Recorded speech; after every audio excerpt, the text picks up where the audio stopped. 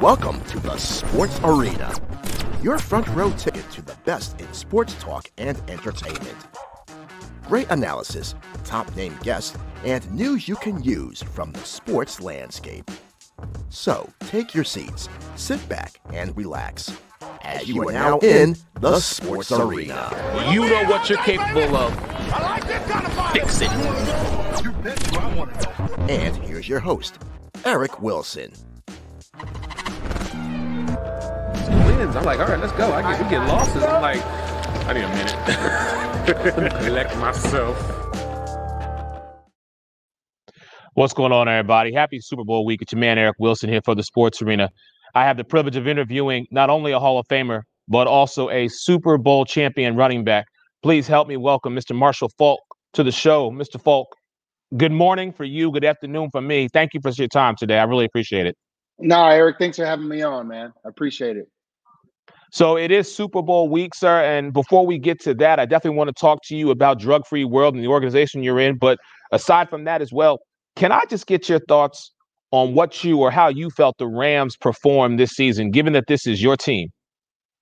Oh man, you know what? I I felt like this was this was a good year for them. The way offensively they had produced coming into this season. If you'd have told me that they were going to have the best defense in the league, I would have said hands down they are at least going to be in the Super Bowl. But you know things did not go well with them, and and at times it was it was um, it was in question. You couldn't really figure out exactly what it was.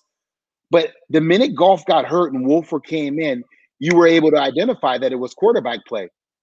And so once you identify that it's quarterback play, you automatically it, it was like, whoa.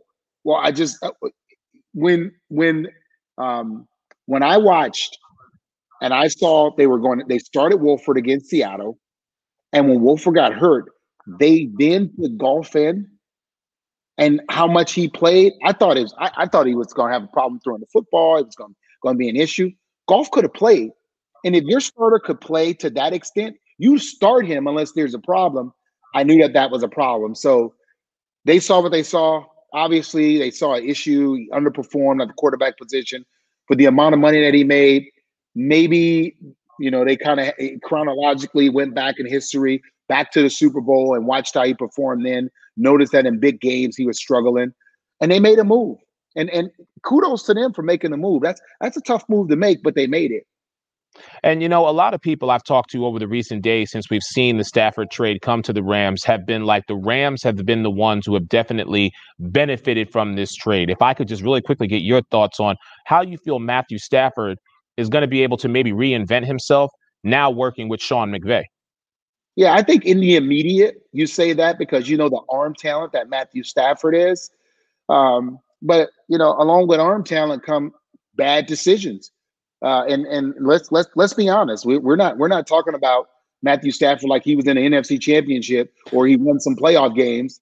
You know, people don't want to say that. I'm just I'm just call, I'm, I'm telling you what I saw and and what we're dealing with. Matthew Stafford has a lot of proven himself to do. He's coming in a guy Jared Goff took them to the Super Bowl. Yes.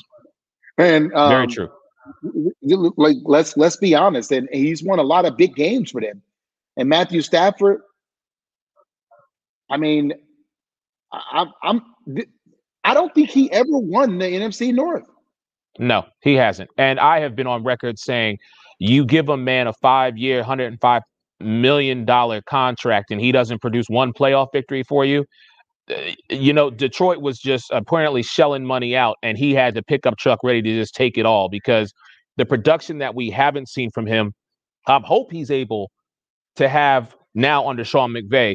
But I'm very much like you. The eye test, it's not there. I got to see it. You got to prove it to me, especially being in probably one of the toughest divisions in the NFC West, playing the Seattle's twice a year, playing the up and coming Arizona Cardinals twice a year. San Francisco, I feel, is rebuilding, but they still could be that team that now you have to face in this division. So it's going to be a very tall task. I hope he's up for that challenge, in my opinion. Think about it. Like think think about where Matthew Stafford is, what this situation is. LA is not Detroit. I'm talking six to eight games in. If he ain't cutting it, he might get traded again. This is Uh, uh, think about it. Think about it. You're right. You're right. Think about what Jared Goff did and what he didn't do, and they traded him. There's yeah. no way.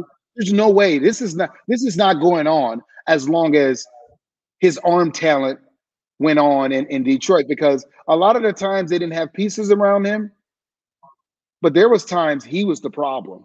Oh yes, most definitely. We'll see, as they say, time will tell. I, I agree with you, but the proof's definitely going to be in the pudding. I want to switch gears with you, talking to Hall of Fame and Super Bowl champion Marshall Faulk here on the Sports Arena. I want to talk about your organization because, you know, I read something that really just the importance of one man and what he wants to leave on this earth. I mean, you are the spokesperson for Drug Free World.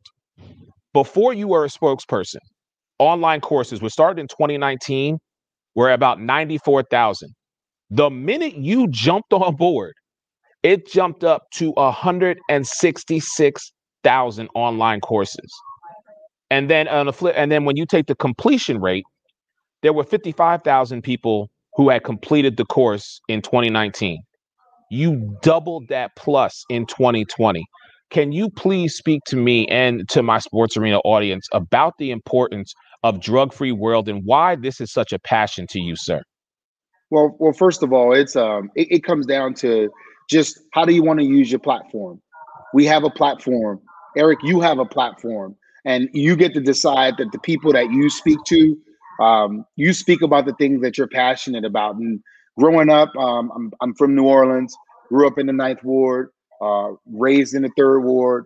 Uh, you know, been was around a lot of drugs was around a lot of lot, a lot of bad things in life. And i understand the things that can derail you because i avoided the obstacles in order for me to get where i'm at in life. A lot of kids won't have that opportunity. They're going to feel or succumb to the peer pressures of the of their community of their friends of the things that. look good or the things that look hip. They're going to give into that. And what we have to do is make sure that we're providing them the resources. And that's what drug free world is all about it's all about providing them the education and the information so they can go out and make better decisions. And not just help the kids, but we're putting we're putting packets and information in the schools. We're also helping parents. There's a lot of parents who didn't grow up around drugs and they don't know the signs and the telltales that their kids are having issues. Well, we provide that information free of charge. We're not asking you for money. We're asking you for time. 14 free online courses. We'll teach you whatever you want to know. I mean, we, we 20 different languages, drugfreeworld.org. If if you want to make a difference and you want to help, or if you need help making a difference, we yeah. have the information and, for you. And, and, your message speaks volumes. I mean, very simply, knowledge is power, and you're empowering kids with the truth about drugs.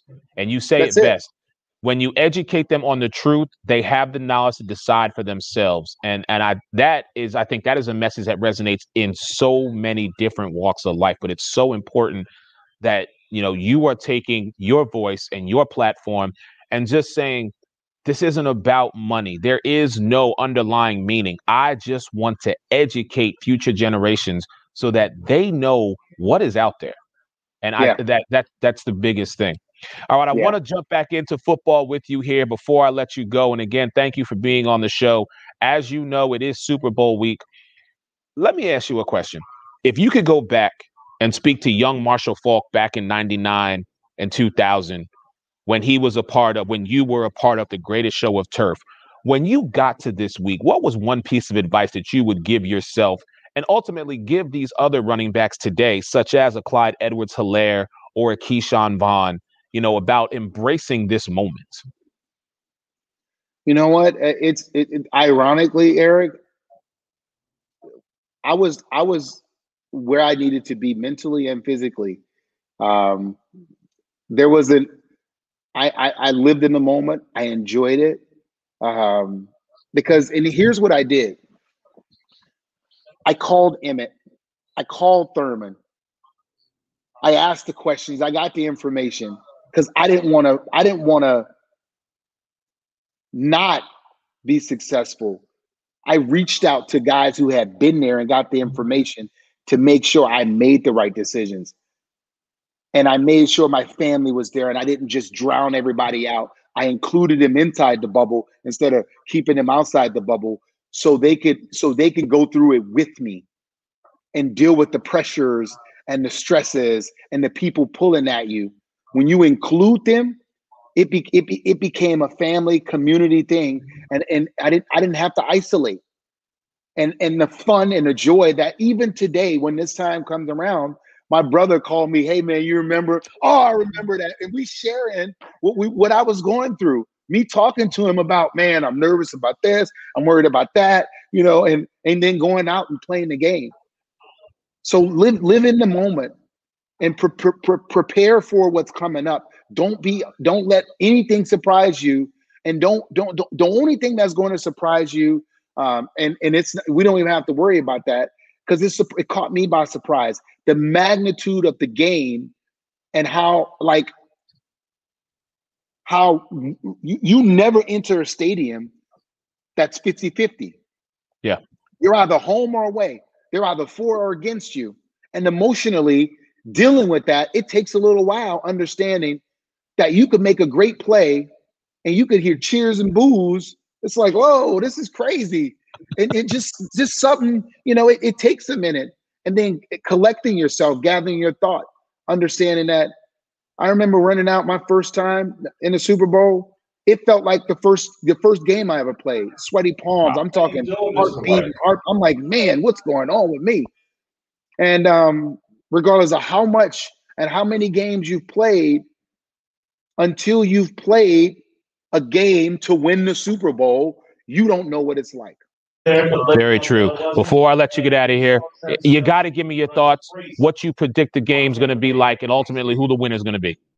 I think high scoring game, and it's hard to go against Tom Brady. But I just feel like what what what what Kansas City has done, and the familiarity of of uh, Steve Spagnuolo with with what Tom Brady does and how he operates, I think that's going to come into play.